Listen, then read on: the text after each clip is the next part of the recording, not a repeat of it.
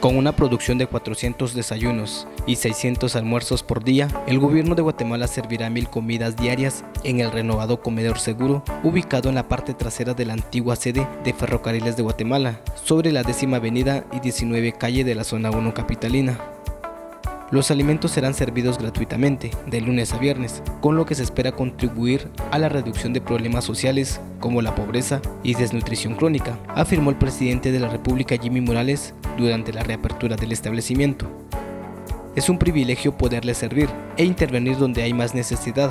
Con ello, también se genera empleo para las personas que atienden, agregó el mandatario. Estos comedores sociales se están reaperturando y por supuesto están siendo supervisados para que tanto la dieta como todo lo que aquí se pueda dar a todas las personas a un precio súper accesible, pueda combatir muchos de los temas sociales.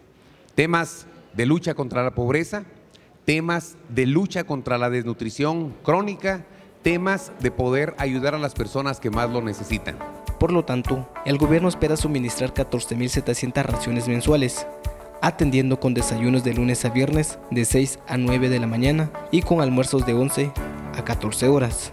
Así es, tenemos planes que para antes del 15 de noviembre estén inaugurados los 15 y eso significa que van a continuar aperturados hasta el 31 de diciembre del 2019 y estaríamos prolongando los contratos para el 2020 dependiendo de cómo el contrato abierto vaya caminando. Pregunta, eh, nosotros recibimos el ministerio con 9.78% de ejecución el 23 de abril del año 2018. Al día de hoy eh, les comento que estamos con 55.12 de ejecución presupuestaria cuando deberíamos andar alrededor de un 67-68% de ejecución en un parámetro eh, aproximado. Tenemos eh, la proyección que para fin de año vamos a estar redondeando entre un 75 y un 80% de ejecución, lo cual sería la ejecución más alta en los últimos cinco años del Ministerio.